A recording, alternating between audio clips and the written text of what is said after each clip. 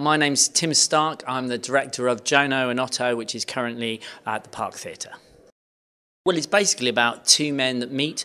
Uh, one man is uh, 62, the other man is uh, 26, and they meet uh, down by the seaside on the East Sussex coast. And it's about their journey over literally 24 hours. And in that journey, they talk about their hopes, their fears, and they talk about, I guess, whether there's some kind of magic in the world. One of the older characters is the, uh, a priest who has basically lost his faith in God. And this young man uh, is a sort of itinerant magician, for want of a better word, and he has a six week old baby. So it's kind of about beginnings and endings, I guess. Well, I originally did a reading of the play at the Royal Court before the production in Manchester, and we did it in the uh, on the main stage at the Royal Court in between shows, what was called during the Get Out. So it was just the shell of the Royal Court stage. It was just the bricks and the floor, and it was kind of amazing. Um, and then it was done in Manchester, and about two years ago, I guess, when this building was being uh, built, Jez, the artistic director, kind of, I live 15 minutes down the road, which is kind of fantastic, and was very excited about the theatre. So Jez gave me a, a, bit of a tour, and I saw it with all the plasterboard, the fabric, before any of the fittings were in, and it obviously seemed an incredible space. Um, and one of the things about smaller spaces in London, most of them are 45 seaters. They're often in the back of a pub and kind of a little bit smelly and falling apart. So a new space, 200 seater, seemed very, very exciting. And when we started talking about projects, I've wanted to basically direct this for about six or seven years, you know. So um, I gave it to Millie, who's um, part of the kind of programming team here, creative director. Uh, they read the play, and the idea was always to try and do it sort of in the fabric of the building. So if people come and see it, they'll see that we've actually ripped a lot of the, the fittings out. We've kind of gone back to the to the bare bones of the structure, so that it's that it's literally two actors in a space telling this story. So it's very very brave. It's very hard. The actors clearly now hate me, um, but it's been a really exciting journey to make the, the, the fabric of the theatre feel like it's a character in the play itself.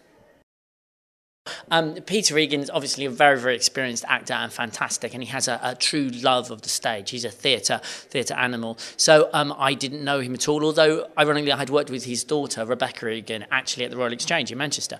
So I just sent him the play once we knew we were doing the, the production here, and uh, he read it, and uh, he came to the theatre, saw the space, and he just asked me why I wanted to direct it, and I said it's a play about love, loss, and whether there's any kind of magic in the world, and he just literally literally looked me in the eye and, much to my surprise, just said then and there, I'll do it. So it was a real kind of uh, exciting moment. Um, with Alex, I obviously knew of his work. He's done a lot of fantastic stuff, like at the Globe, the RSC. He did amazing production of Duchess of Malfi, which I saw. Um, and I met, I'd met a few actors. You know, the people. There were a lot of people who were very interested in the role. It's a fantastic kind of like part. Um, and then I met him quite near the end of the process. And the thing about Robert Holman's writing is there's a real tune, a real rhythm, there's a real quality that that's quite hard to kind of capture.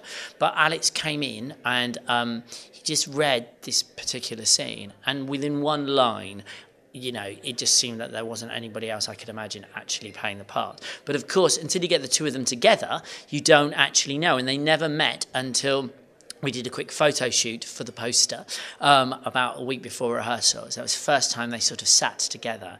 And you just knew instantly from the kind of way they looked at each other that there would be a, a fantastic chemistry between them. But within this production, I mean, I think that's one of the key things, really, is we wanted it kind of.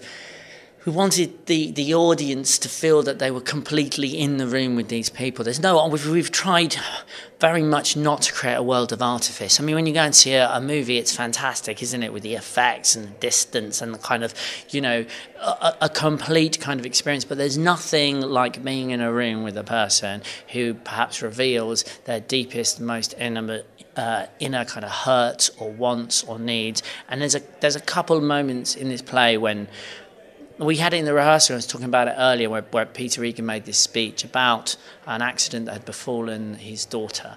And in the rehearsal room, by the time he'd finished, literally everybody in the room just couldn't speak. And I know that sounds like a cliche, but it's absolutely true that the, the emotion in the room was palpable. And I think you're within touching distance of this man and you can feel his emotions running through your body. Couple of proper magical moments in the pure sense of um, you could only probably best describe them as miracles. There's a couple of things in this play which are just impossible if you don't believe in magic, and uh, it's very exciting that that the first question people have to you is how did you do that, and was it. Uh, the first question people have is how did you do that, and uh, the first question is, how did you do that? But the, the great answer is that when Robert wrote it, he never meant it as a trick. He describes certain things that, that just happen because they're magical. And our job was then to find out the way to kind of do it. So I hope that people come out thinking that the impossible sometimes is possible. I'm Alex Waldmann and I play Jonah in Jonah and Otto.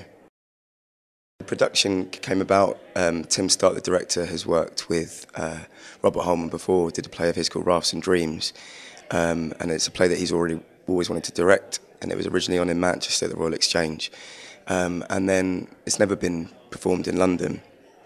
So Tim was always keen to get it on, um, and it's great that people get a chance to see this play because I, I think we all feel, and hopefully people that will come to see it, that it's a, it's a masterpiece, and more people should get to know it um, because it's one of the most extraordinary plays written in recent times. Um, so it's a two-hander. There's a young guy called Jonah who's 26, comes from Cheshire, and an older guy from, called Otto who's meant to be 62. And they meet on the south coast, um, and then they are forced into sort of talking to each other and trying to. It's a kind of game of who reveals what about themselves.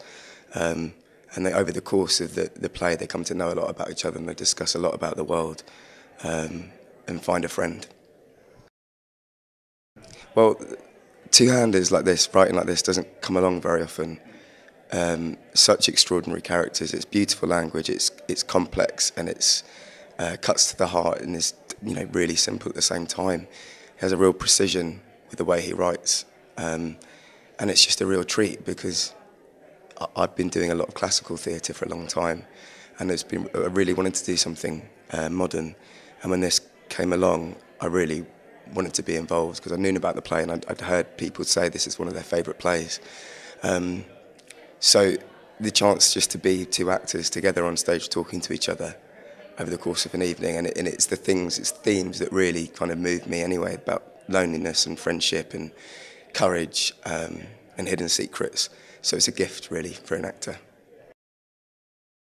What's exciting about it is that it's just two guys that meet in a secluded uh, part of the coast, but then people can read into it whatever they want. It can mean so much more.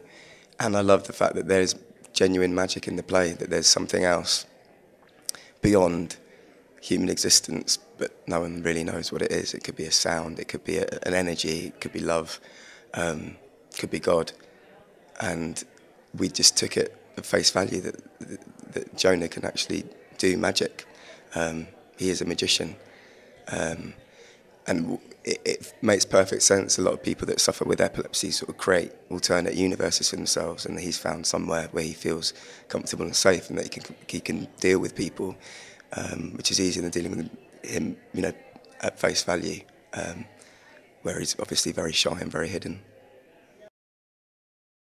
Peter's been great. I remember seeing Peter in um, Noises Off uh, before I went to drama school, and it was one of those seminal productions you remember and think, oh yeah, look at being an actor looks like fun. Um, and he made me laugh a lot.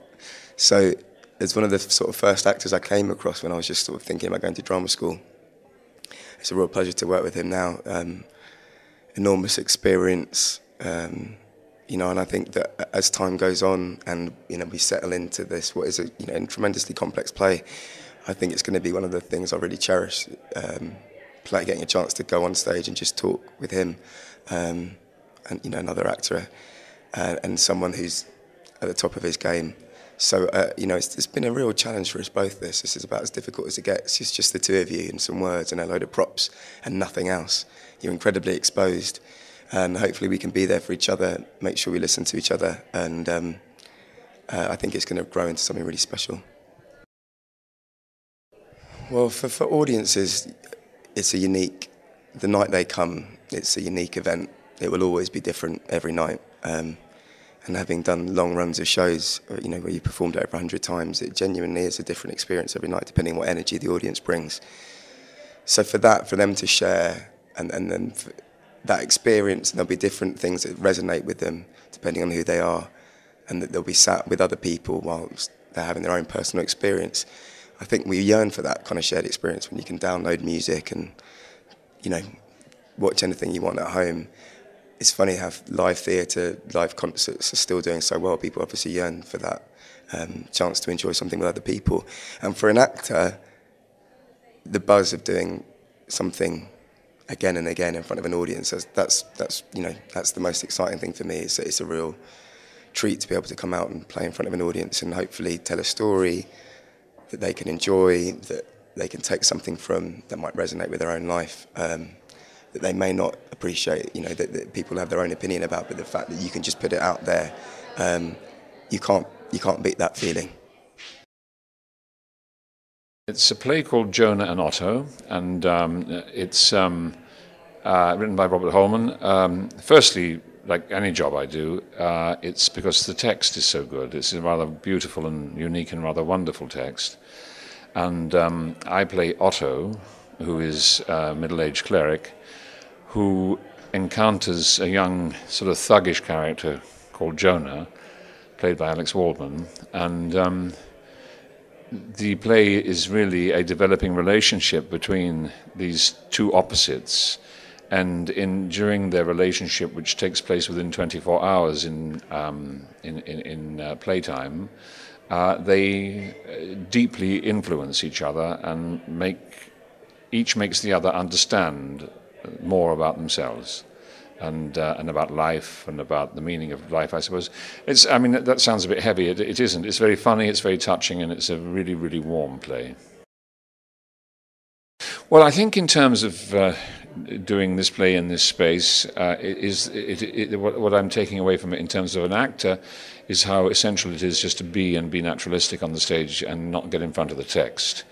Um, in terms of philosophically, if you're asking that question as well, um, I would say uh, how important it is to relate to other people and how important it is to listen to other people and how important it is to try and understand other people. What's it been like working with Alex? Obviously, uh, in a two-hander, it's it's very important to have the right co-star. Oh, it is indeed. It's been a great, great pleasure working with him. I mean, he's fantastic. He's a really terrific young actor, um, and uh, he's uh, perfect in the part.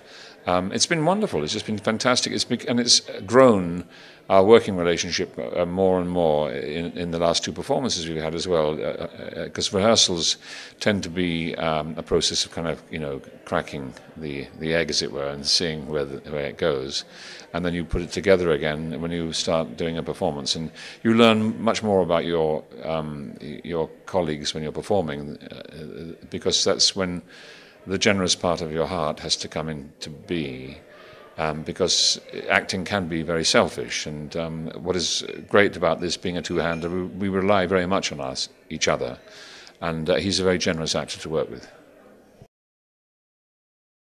Well, um, I think that watching movies and watching television is a very passive receiving. The audience receive because um, what you're seeing is going to be exactly the same, regardless of your response.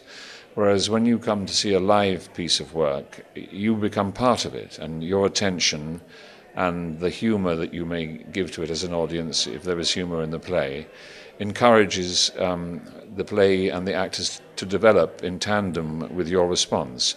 So it is, uh, it is an act of faith and it's unity and it's um, a shared experience. Um, and, and, and, that's what I think is wonderful. Uh, I mean, really, I mean, I mean, movies are great. I love movies and I, and I love television for different reasons. Um, but there, for me, nothing ever, no, nothing will ever be better than the theatre, both as an actor and as an audience, because I love being part of a live event.